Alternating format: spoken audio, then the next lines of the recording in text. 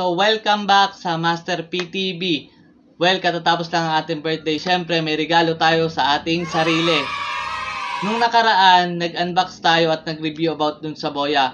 Ngayon, ang i-unbox at i-review namin, naman natin ngayon ay ang Sonic Mobile Phone Stabilizer Gimbal Anti-Shake Handle Vlog- Vlogging Kit. So, pa sa mga nag start mag-vlog, titingnan natin kung ito bagay recommended para sa inyo. So, bago tayo magsimula, hit nyo na yung like, subscribe, share, at i-push nyo na yung notification bell para lagi kayong updated sa mga videos and vlogs natin. Sisimulan na natin ang pag-unbox pagkatapos ng intro.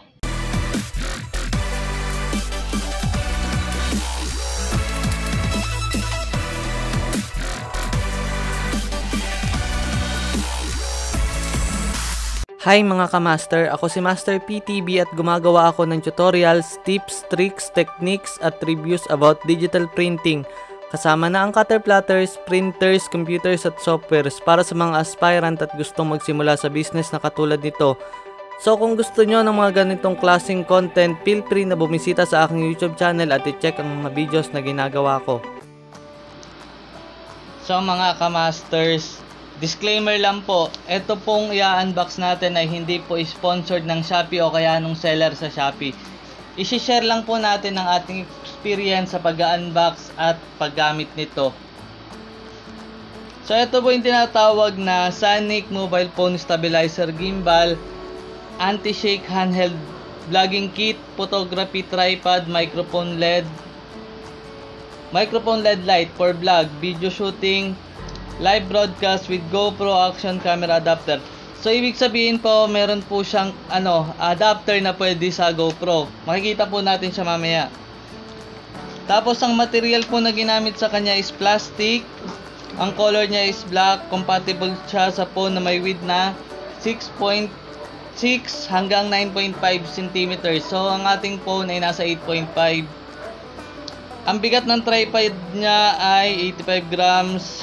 Tapos sa mga features naman, meron siyang 1/4 inch threaded you can connect a phone clip or other clip with 1/4 screw hole. Portable in mini size, easy to carry. Adjustable tripod. Head provides you with more flexible shooting angle.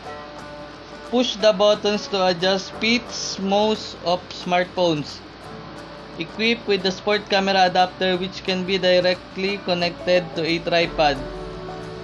This product has a variety of functions suitable for photography, mobile phone video, vlog, sport camera vlog, live broadcast, selfie, at meron siyang anti-shake. So, bubuksan na natin. So, sa packaging naman niya, ah, maganda packaging niya, karton, matigas. Tapos, yan nga yung kanyang label. So, ito, may seal siya. Gamit tayo ng cutter. Tapos, bubuksan natin ng dahan-dahan. So, yan ang itsura niya kapag ka binuksan natin. So, ano-ano ba ang laman niya? Siguro ito yung manual. Ay, hindi pala. Ito yung ah, sulat, parang sulat. Tapos, ito naman yung wow, meron siyang remote. Ito yung adapter ng GoPro kung hindi ako nagkakamali. Tapos meron siyang uh, keyless. Tapos ito siguro yung iniikot sa gilid para mag-lock. Tapos ito yung photography light. So ito yung pinakamahal na package na binili natin pang regalo natin sa ating sarili. Tapos ito nga, video microphone. So may iboya tayo, pero te-testing din natin ito mamaya. So ito ang kanyang laman. Para siyang boya. Kaya lang ito, ginagamit to kapag ka ano, uh, magre-record ka. Kasi itong tawag dito, yung Fury windshield ginagamit to sa labas pag masyado maingay. Tapos may adapter din siya para sa SLR. Tapos yung LED light naman niya, bubuksan natin. So, ito ang laman ng kanyang LED light. Di battery ba ito? O, di battery siya. Kailangan niya ng dalawang double A. So, bibili pa tayo. Hanap tayo mamaya ng double A. Para magamit natin ito. Babalik muna natin dito sa plastic. Mamaya ilalatag natin dito lahat yan. So, ito na yung ano, yung pinaka main product.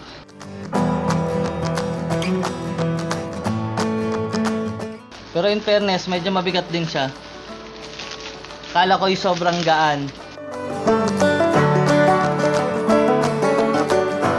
So, ito ay handheld. Tapos, yan, para siya ay tumayo. Tapos, ito naman, pinipress lang dito para umangat. So parang ganito siya gamitin. Tapos ito ito yung pinaka stabilizer niya eh. Naiikot. So ito ay nilalagay po siya dito. Tapos iniikot dito. So parang baliktad siya. Pero pwede rin siyang pag ganyan pag magre-record ka. Tapos ito naman sa mobile phone, yung lagay ng mobile phone, iniikot din siya. Pwedeng portrait at landscape. Tapos ang sunod nating ikakabit dito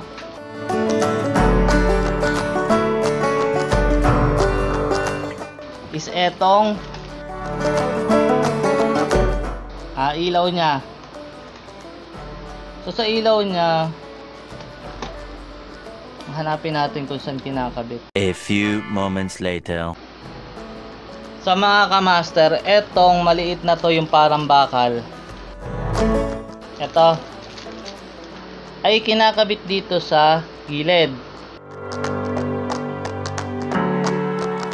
Dahil dito natin ilalagay yung mic at saka yung ano, etong ilaw. So ganyan ang itsura niya.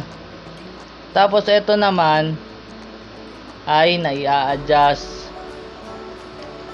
Depende sa inyo kung ano gusto nyong ah, posisyon. Gusto ko ito ay nasa ibabaw. Luwagan lang natin muna. Masyado masikip yung nasa loob. Ito.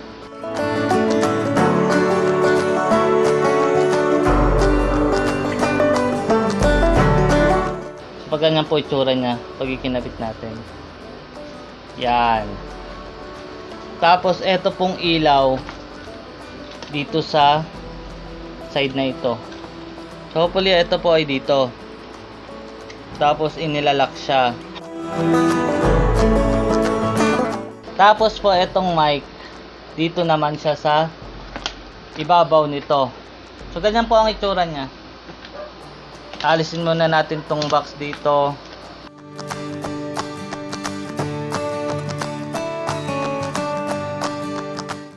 Siyempre, nakaharap po dapat sa inyo yung mic. So, nakaganyan po siya. Tapos, ito naman,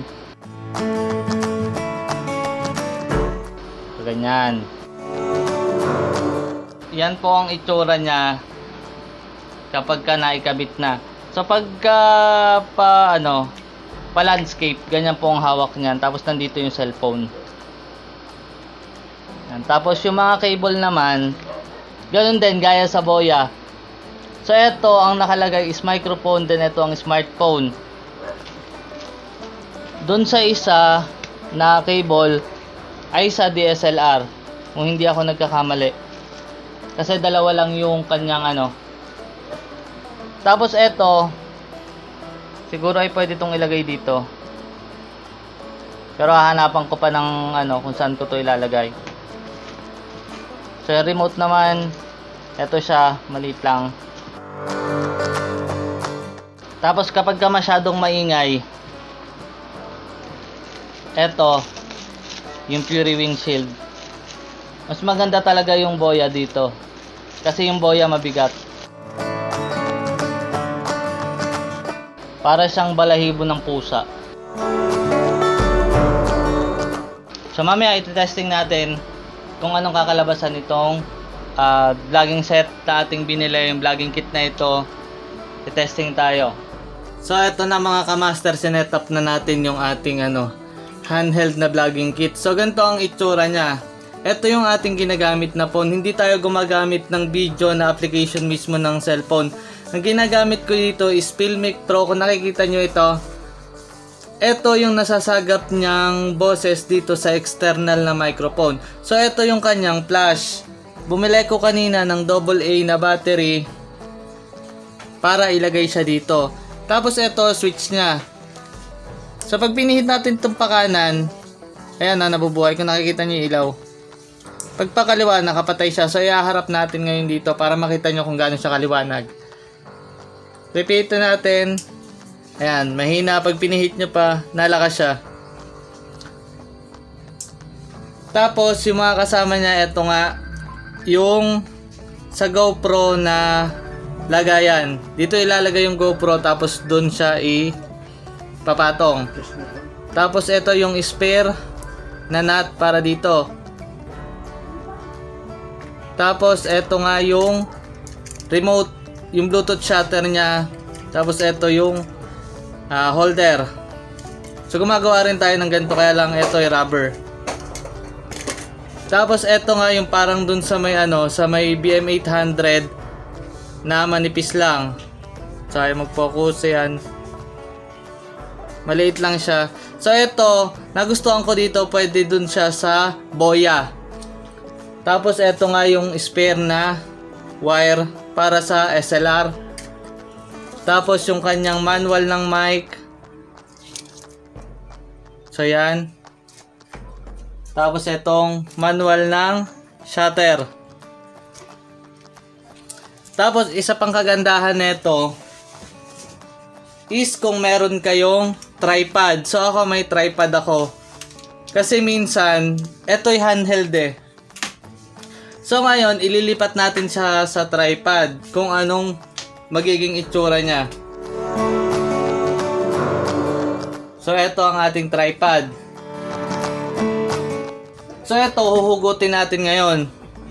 Tapos ililipat natin siya sa tripod.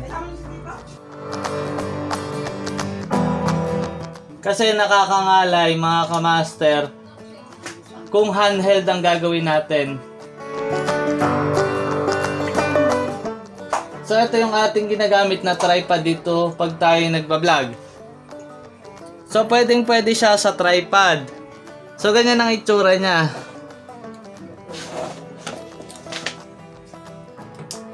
Ayan. So kita niyo ako doon sa may kabilang camera. So hindi naman tayo yayamanin, ang gamit lang naman natin is Infinix Note 7. Yan ang ating ginagamit na pang-vlog. So yan. Maganda siyang gamitin. Mamaya iti-testing naman natin pag ginamit natin ito ng nagbablog. So lipat na tayo. So eto na mga kamaster, gamit na natin yung ating handheld. So steady naman siya. Okay naman siyang hawakan, medyo mabigat nga lang kasi mabigat yung ating cellphone. So para sa akin, okay na okay ang quality niya. May re-recommend natin ito sa mga nagsisimula sa pagba-vlog. Sa habang naglalakad, pwede ang ganyan. Yan. Tapos pagka medyo nadidiliman, i-on natin yung flash para makita tayo. So yan. Malinaw naman siya actually. Nakakaganda na nakakaganda kasi ng isang video yung tamang ilaw. Kapag ka nalalakasan kayo, pwede nyo namang hinaan. Yan. So para tayo mag-interview, ganito. So sa mga susunod, magagamit na natin ito. Pinakita ko lang sa inyo yung unboxing at review ko dito sa ating binili sa Shopee na regalo natin sa ating birthday. Kung nagustuhan nyo ang tutorial natin at ang uh, review natin dito about dito sa ating binili sa Shopee, hit nyo na yung like, subscribe, share at i-push nyo na yung notification bell para lagi kayong updated sa mga videos and vlogs natin. Yung link po ng ano, netong store na binilang ko sa Shopee, ilalagay ko po sa description sa ilalim. Salamat mga kamaster, keep safe, God bless at up para sa pangarap.